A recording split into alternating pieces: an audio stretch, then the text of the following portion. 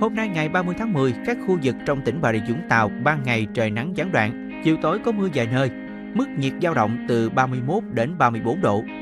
Diễn biến thời tiết cụ thể ở từng khu vực trên địa bàn tỉnh trong ngày như sau.